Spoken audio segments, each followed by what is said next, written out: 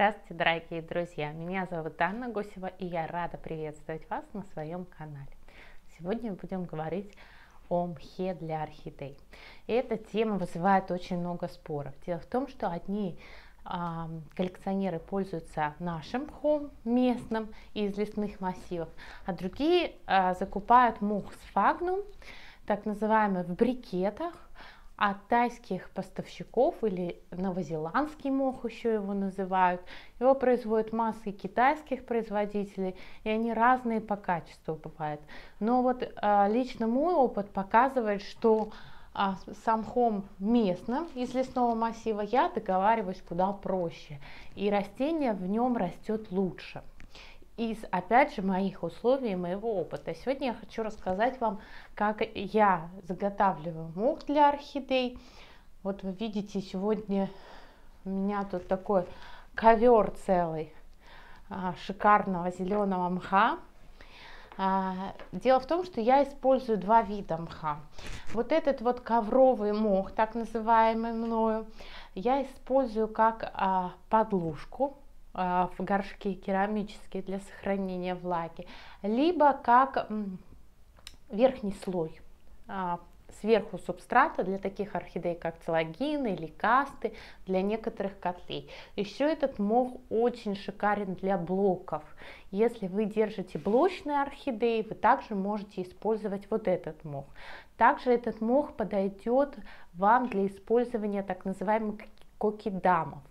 Э, это такие шары, которые делаются из грунта, обворачиваются плотно нитками и сверху вот это вот полотно приматывается поверх этого шара, этой кокидамы.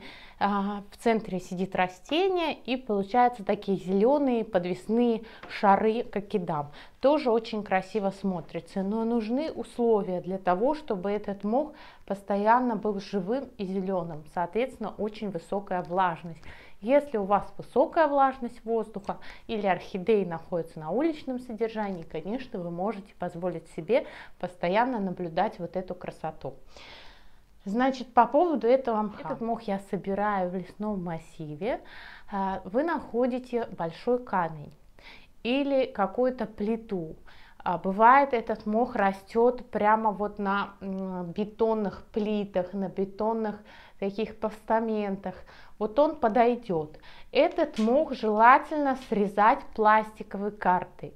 Дело в том, что нам надо сохранить нижний дер... дерновой слой.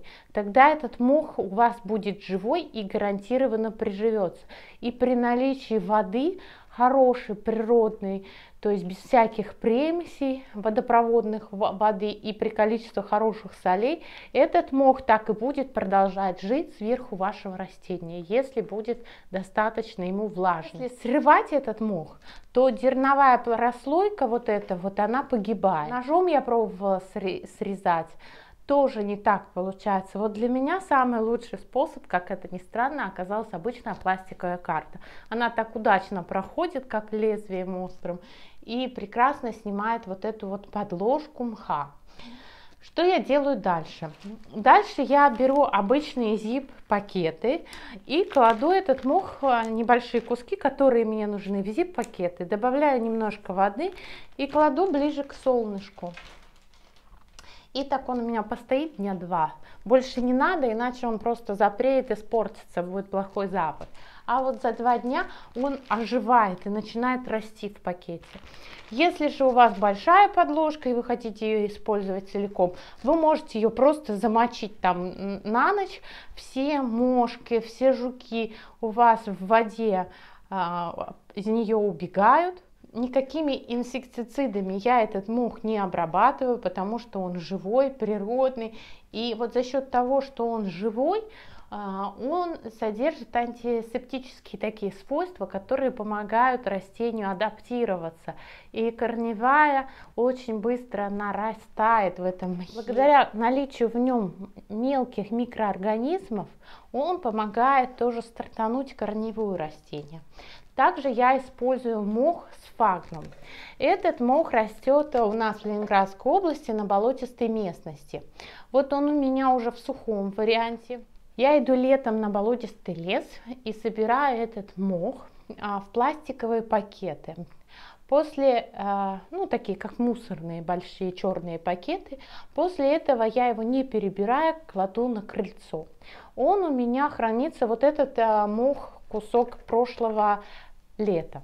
Перед тем, как мне надо его использовать, я беру кусок этого мха и замачиваю в емкости с водой. Там часик он у меня полежит, впитается и раскладываю а, в грунт, а, поверх грунта для орхидей. Тоже растут в таком мхе, орхидеи прекрасно, но надо помнить, что где-то раз в год вы эту подложку мха должны менять, потому что соли, остатки удобрений он впитывает и свои свойства, тем самым становится негодным. Поэтому раз в год нужно этот мох менять. Так что вот такие вот два вида мха я использую. И, честно говоря, всем советую, потому что мох, если к нему приспособится наш отечественный, очень подойдет. И вот эта вот подложка будет шикарно смотреться. Если у вас есть возможность сейчас, летом, обязательно сходите, заготовьте мох для своих любимых орхидейков. Он вам при пересадке всегда пригодится, потому что его можно просто положить в пакеты, на балконе оставить. Если у вас есть э, своя какая-то дача или там загородная недвижимость, вы можете оставить на террасе или также на крыльце дома. И в любой момент, когда вам нужно будет пересадить растение, вы этот мох добавите. Вот недавно я получила котлею мусс, она пришла абсолютно без корней. И я ее посадила вот в по такому же принципу на такую подложку из мха. И вы можете видеть, как от нового ростика пошли уже корешки. Так что этот мох работает. Вот второй вариант, который я вам хочу показать. Это растение пришло ко мне в размере одной бульбы. И а, выпустила уже ростик новый. И вы можете видеть, я в этот стакан положила мох с фагнум и на одну треть его наполнила. И вы можете видеть, как мох ожил. Он весь зеленый. В контейнере все время находится вода, и благодаря этому растение начинает активный рост. И растет и новый рост, и корешки появились. Так что как вариант вытянуть растение за счет бактерицидных своих свойств – имеет место использование также этого мха. Если это видео оказалось для вас полезным, не забывайте подписываться на мой канал, ставьте лайки. Я всегда рада ответить на ваши вопросы в группе ВКонтакте или в комментариях под видео. В следующем видео я вам опять покажу мою радость. Ко мне пришла новая посылка, буду распаковывать при вас. Ну и, конечно, друзья, в это нелегкое время желаю здоровья вам и вашим орхидейкам. Всех целую, обнимаю, пока-пока.